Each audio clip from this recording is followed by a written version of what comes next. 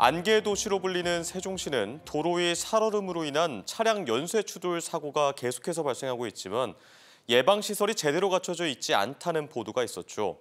시설도 시설이지만 시설 관리 업무를 세종시와 LH가 나눠서 맡다 보니 종합적인 관리가 안 된다는 지적이 제기됩니다. 김지혜 기자입니다. 출근길 엉망으로 뒤엉킨 차량들, 안개와 도로 위 살얼음으로 다리 두 곳에서 차량 40여 대가 연쇄 추돌했습니다. 당시 사고 현장에는 자동 염수 분사 장치가 없었고 도로 위험 상황을 알리는 전광판도 꺼져 있었습니다. 주변에 금강이 있고 도로가 그늘져 대형 사고 발생 가능성이 크지만 시설 관리 주체는 제각각입니다.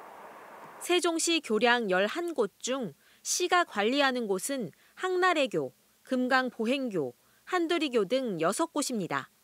반면 사고가 났던 금빛 노을교, 아람찬교를 포함한 금남교, 햇무리교, 월산교 등 5곳의 관리 주체는 LH입니다.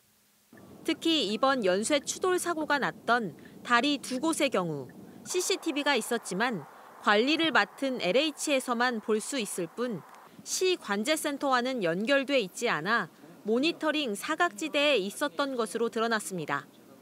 세종 시 내 교량인데도 관리 주체가 혼재되어 있는 이유는 무엇일까? 행복도시 건설 특별법 66조에는 행복도시 건설 사업으로 건설되는 공공시설은 해당 관청으로 이관되기 전에는 사업 시행사인 LH가 관리하도록 하고 있습니다. 시가 LH로 책임을 미루는 이유입니다. 관리 책임이 사업 시행자인 LH에 있다 이렇게 분명하게 되어 있습니다. 교량을 관리하는 용역도 하고 있고 제설을 하는 용역도 거기서 하고 있습니다. LH에서.